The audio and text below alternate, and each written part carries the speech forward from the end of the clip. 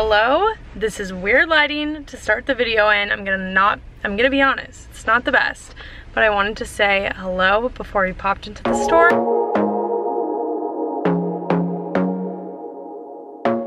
And welcome or welcome back to my channel if you are new.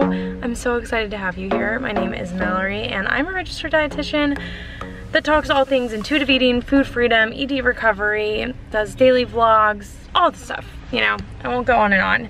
But I thought today it would be really helpful to see, especially because I love seeing these videos, I don't know, maybe you too too, a grocery haul. I really am, first of all, just nosy.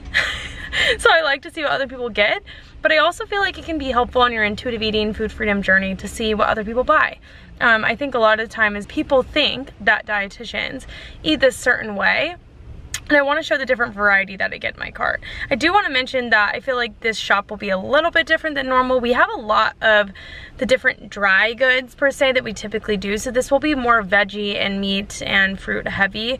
But I still want to get some fun items. It's fall here and so get some seasonal different things um, and I'm really excited. So I wanted to bring you along. I'm really excited too because I'm gonna I've said I'm really excited 65 times. I think you guys get it. I am listening to this podcast that's so good. It's called Revelations. I'm super interested in cult stuff. That sounds really weird but like learning about them I think is super intriguing. It is this one by Parcast. So I'm gonna listen to that. It's like 36 minutes which I feel like will be a perfect timing. But Okay. I tried to get out of my car and I could not. So here we go.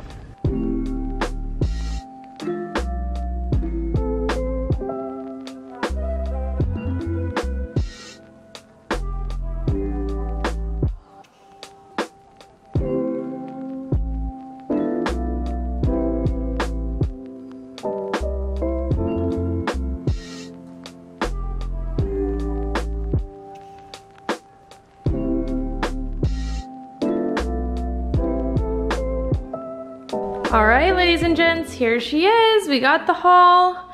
Um, we don't have enough natural lighting, so we had to go for the overhead, which I do not like, but I would not say this is the most representative haul. But I'm gonna show you because I still think it's helpful to have these in-between hauls and I can show you how I supplement it. So, we've got eggs here. Brian uses those all the time for breakfast. I mean, we can eat them for every meal. And um, we've got sweet potatoes, green beans, spinach, this kind of veggie salad kit, cucumber, bananas, raspberries. Let's see, any other, and that's our kind of veggie section. We have um, hash browns back there. But this was the main thing I was stocking up on are like these veggies and fruits because we don't have anything. We have one thing of bok choy in the fridge. Um, then I also got some protein. So we love these chicken sausages. They make for such an easy meal. I'm actually gonna make a meal out of that and this and the vegan kale pesto right now. Um, and we got salmon as well for this week and then some tofu. I love having tofu on hand. I feel like it's so easy. These two things are things I love to have on hand. I love having these Go Macro bars as snacks and these overnight oats as breakfast with adding other things. As I said, the pesto is great to add anything. I got these for Brian. I'm sad because they kind of like slipped and got them a little bit everywhere, but they're for Brian because it was his last day of drill as well as these beers. He loves an IPA, so I wanted to get him some of those. Um, and then I got two of these rice cauliflower bowls. I really like these for lunch as well. Those are mainly for Brian and I's breakfast. And then I got this, um, the oat beverage. I love their oat beverage. And I got myself some flowers. So that is kind of what that looks like. But let me just show you, this is a mess in here.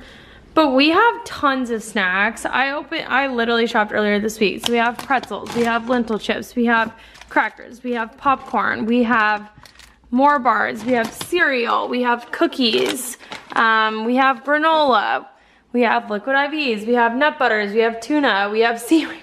Like we have so many different things. We have gluten-free Oreos. Um, and if you're new to my channel, you may not know like why do I buy so many gluten-free things. And that is because you're gonna be so sick of it if you're on my channel, but if you're not and you're new, I wanna say it. That is because my um, boyfriend is allergic to wheat. So we try to minimize it within the household. It's not anaphylactic, but at the same time, if he can avoid it, he does. And that's fine with me, it doesn't really matter to me. Dairy is a little bit more upsetting to my tummy, so I don't eat it super often, which is why you don't see as much of it here. Um, I've been just, tummy's been really sensitive lately, so I've, I haven't been having it quite as much, but I still do, um, but that's why you don't see it as much, in, especially this haul, because my stomach has been bothering me as of late. But I hope that it was helpful to kind of see these different things. I'm gonna put together a dinner with this, so I figured it would be fun to kind of just throw it together together and throw it together together and hang out for a second. It's one of my favorite type of meals that I can make. I think I'm gonna have some non-alcoholic rosé as well. Or should I do a can? No, let's just open the bottle, you know? I'm sure I'll drink it throughout the week. So this is um, Surely Rosé and it is alcohol removed but tastes just like rosé. I love to get my drink on, but I also have to be mindful of how I feel, you know? And I feel like this is such a great option when you're trying not to have as much alcohol, but you really want the taste of wine. Because I feel like, I know you can't see my face, but just stick with me for a second. I feel like wine is what I like the taste of the most but often wine makes me so, I'm not doing this right right now. Um, but often wine makes me super hungover as well. So yeah, anyways, I'm not doing this right. So what, what am I doing wrong? Like why can I never, is it this first? No, no.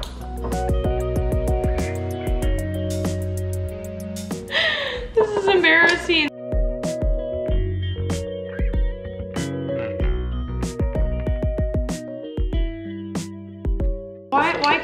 Open a bottle of wine right now. Okay. I don't know if I'll be having this, but their stuff is delicious if you wanna try. Oh, I'm about to freaking break the bottle. Okay, this is enough. I need, I need a quick break because I'm feeling a little agitated. Okay, I took a deep breath and we did it. It was a different wine opener. I don't know if that one's working, but it was not easy. It was not an easy feat. I didn't do a great job, you know, I'm not gonna lie to you. So let's get this open now. Now I need a freaking real glass of wine. I'm just kidding. It's not, it's not that easy to agitate me. That's, let's not be dramatic, Mallory. Um, let's just do this. I really want to get some wine glasses with stems. They have some really cute ones on Amazon. Let's do a nice pour. My grocery haul on the back. I love it. Nice Sunday night. That would be a heavy pour if it was real. All right, let's put this away. We'll do a little time lapse. Ready?